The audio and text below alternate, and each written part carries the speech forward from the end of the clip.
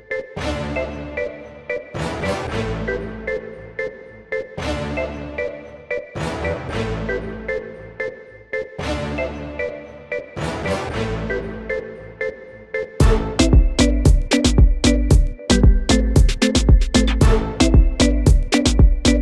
В этом видео речь пойдет о спорте. Часто мы находим отговорки, причины, почему мы не можем заниматься спортом.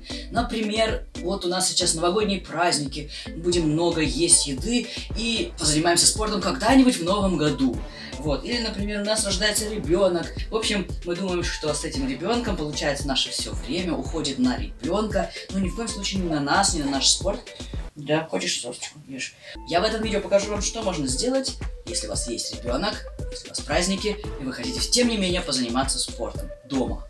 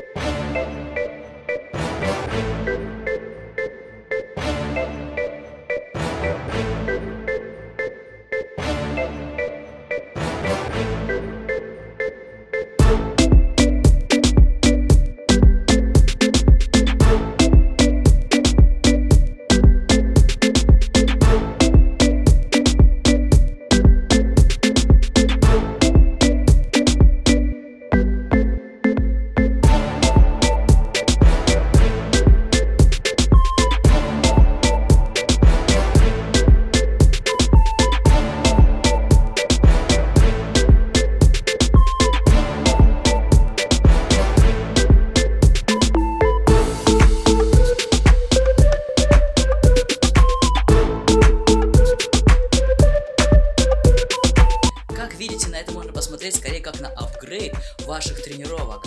Так что пишите в комментариях, какие упражнения вам понравились, или может быть у вас есть идеи для упражнений с ребенком.